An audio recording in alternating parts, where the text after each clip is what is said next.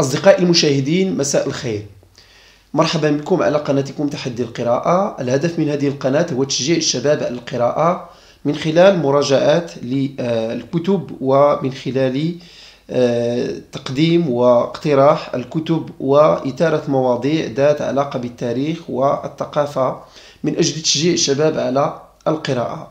في هذه الحلقة سأتناول معكم موضوع له أهمية آه، بالغة في آه، تحليل المواضيع السياسية المتصلة بالدولة. إنه موضوع الدولة العميقة.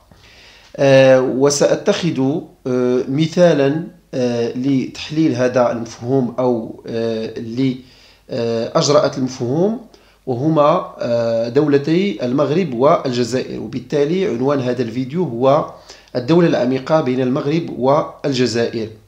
في البداية نحن بحاجة إلى تعريف المفهوم. هذا المفهوم مفهوم الدولة العميقة هو مفهوم في العلوم السياسية وانطلق من الأبحاث الأكاديمية في هذه العلوم. لكنه في الحقيقة من بين المفاهيم التي آه، جرى عليها نوع من التأسف أو نوع من التعميم ونوع من التسطيح أو السطحية خصوصا في آه، التناول آه، الصحفي أو الإعلامي بحيث أن المفهوم أخذ أبعاد آه، متعددة وأخذ معاني تكاد تكون متناقضة أحيانا.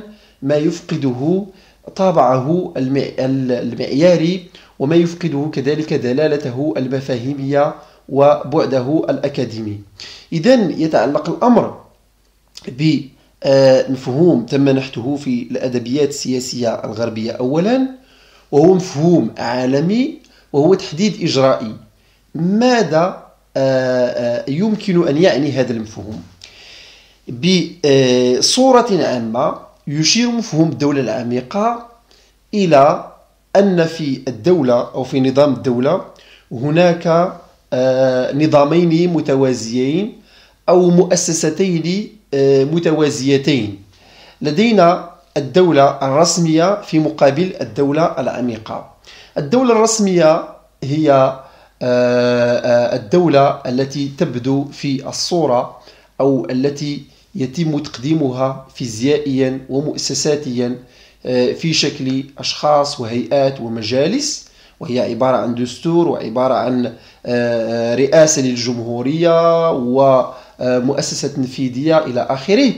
وهناك في المقابل آه، ما يمكن أن نسميه بجماعات الضغط أو بالتفاعلات آه، آه، الاجتماعية للسلطة. بشكل عام هذه هي الدولة العميقة. لكن الدولة العميقة في بعض الأحيان أو في بعض التحليلات خصوصا في السياق المغربي أو في السياق العربي بدرجة أو بأخرى نجد أنها تشير إلى كيان أسطوري أو كيان آه، يكاد يكون ميتافيزيقي آه، أو روحي يتجاهل أو يتجاوز التحليل الإجرائي أو المؤسساتي وخصوصا ذو البعد السوسيولوجي للسلطة.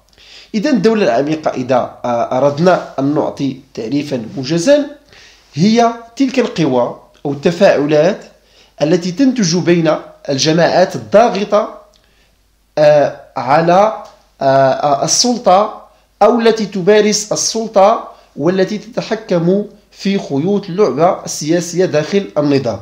لا يشير المفهوم إلى وجود تماسيح وعفاريت كما يقول البعض.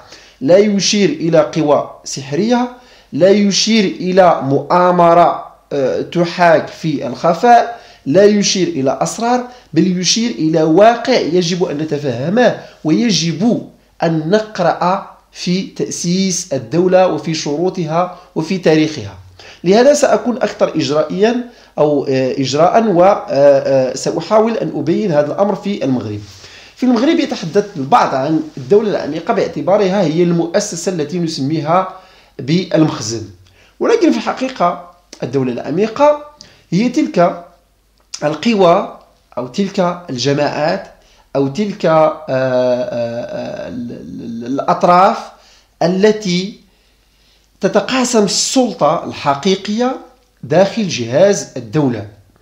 يحضر فيها المؤسسة الملكية تحضر فيها التقاليد المخزنية تحضر فيها آه، آه، الجماعات المالكة للرأسمال تحضر فيها كذلك القوى الأجنبية. هذه القوى بأشكال وبدرجات مختلفة. إذا إذا أردنا أن نكون إجرائيين وإذا أردنا أن نتبين طبيعة هذه القوى التي آه، نسميها بالدولة العميقة والتي لها تأثير والتي طبعا لها تخطيط عام ولها رؤية وهي مؤثرة في آه، آه، القرار السياسي ومؤثرة في بنية الدولة ومؤثرة في تسيير الدولة يجب أن نعود إلى التاريخ. التاريخ البعيد والتاريخ المتوسط على الخصوص التاريخ البعيد للدولة أي التقاليد المخزنية لماذا؟ لأن الدولة تكاد تكون شخص حينما نفحص الأدبيات السياسية نجد بأن الدولة هي شخصية معنوية وقانونية ماذا يعني ذلك؟ يعني أن من يمارس السلطة أو من يتحكمون في السلطة أو من يتدخلون في ممارسة آه، السلطة التنفيذية على الخصوص وأتحدث عن المؤسسة الملكية فهم لا يمارسون هذه السلطة من فراغ بل إنما من خلال مجموعة من الأدوات ومجموعة من التقاليد ومن خلال تاريخ ومن خلال مزاج عام تاريخي. لهذا نتحدث عن الدولة المخزنية نتحدث عن القمع المخزني نتحدث عن تاريخ المخزن. هذا التاريخ ينزل بثقله أثناء اتخاذ القرار السياسي. لماذا؟ لأنه بشكل بسيط وبطريقة ملحوظة المتخذ القرار لديه ما يمكن أن نسميه بريبرتوار أو نوع من الوصفات جاهزة والتي سبق التفكير فيها والتي أعطت نجاحها وأعطت آه، فعاليتها في مناسبات سابقة. إذا الدولة لها ذاكرة. لها ذاكرة في القمع لها ذاكرة في آه، آه، تدبير الأزمات لها ذاكرة كذلك في المفاوضات لها ذاكرة كذلك في الجزاءات لها ذاكرة كذلك في تقريب الأشخاص إلى آخره أي أن الدولة لها مزاج عام.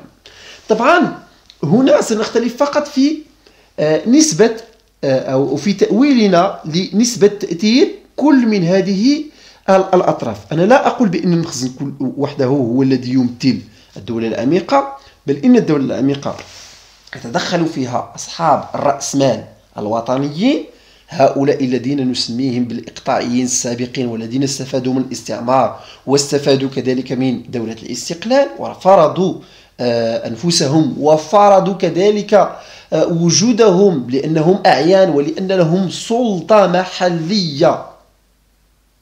لأن البعض مثلا منهم بالكيرة ومنهم آخرون يقولون بأن هذه الطبقة طبقة الأعيان بأنها كأنها نالت ما لم تستحقه. في الحقيقة بالمفهوم السياسي هذه الطبقة كانت لها وجاهتها وقدمت نفسها كشريك سياسي ومجتمعي للمؤسسة الملكية في وقت من الأوقات. وبالتالي لدينا هذه تحضر بشكل ما. ولدينا المثال في النقاش الدائر اليوم بين شركات البترول أو الشركات الموزعة للمواد البترولية والحكومة أو الوزير الدودي الوزير يريد أن يفرض عليها تسقيف لكن هذه الحك... هذه الجماعة هي تشكل لوبي لديها قوة ضغط. إذا هنا تتجلى الأيادي التي تملكها في الدولة العميقة. لدينا ثانيا من جهة أخرى القوى الأجنبية. القوى الأجنبية هي مسألة تاريخ. نحن دولة استعمرت من طرف فرنسا وكانت هنالك دائما مصالح فرنسية ولدينا كذلك مصالح آه، آه، عند فرنسا. إذا الأمر يكاد يكون متبادل والأمر واقع. يعني آه، هو مسألة وسنأتي إلى الجزائر لأن الجزائريين حينما خاضوا حركهم رفعوا شعار ما كانش الخامسة يا ولد فرنسا. كأن الدولة هي ابن غير شرعي لفرنسا في حين أنه في الحقيقة الدول دول شمال إفريقيا المستعمرة من, من قبل فرنسا هي هي آه، بمثابة آه، أبناء شرعيين لفرنسا وليسوا فقط غير شرعيين يجب أن نعترف بهم وذلك ليس بشتيمة أن نقول للدولة بأنها ابنة فرنسا لأن النظام السياسي والنظام القضائي والنظام الاقتصادي والتدبير والإدارة إلى آخره. هذه التقاليد تقاليد فرنسية والشراكة السياسية والاقتصادية تكون دائما مع هذه الجهة وإن لم تكن مع هذه الجهة ستكون مع جهة أخرى. مسألة محسومة. طبعا آه، وبالتالي هذا الأمر يجب أن نستحضره كذلك في الدولة العميقة هناك المؤسسة الملكية المؤسسة الملكية لها وبالتالي نتحدث في المغرب عن تقاليد وهذه التقاليد تغيب في دول أخرى. هذه التقاليد طبعا قد تكون محل نقاش لأن البعض يرى بأن مؤسسه المخزن مؤسسة آه، سلبية البعض يرى بأنها مؤسسة آه، قمعية البعض يرى بأنها مؤسسة رجعية إلى آخره. المواقف حولها تختلف ولكنها مؤسسة تشكل جزء أساسي من الدولة العميقة ومن العقل المدبر للدولة والحريص على مصالحها. لدينا آه، آه، كذلك آه، القوى الأخرى أو التقاليد الأخرى الناشئة من التاريخ البعيد للأمة. إذا هذه بشكل أو بآخر كلها تضغط بشكل أو بآخر لتأسيس ما نسميه بالدولة العميقة في المغرب. سآتي إلى الجزائر. بالنسبة للجزائر وهذا هو الفرق بين المغرب والجزائر الجزائر ليست دولة عريقة في آه، آه، بالمقارنة مع المغرب في التقاليد السياسية. أي أن الدولة العميقة في الجزائر هي تكاد تكون أخطر من المغرب بين قوسين لأن هذا حكم قيمة. لماذا؟ لأنها هي وليدة لتقاليد بعد استعمارية.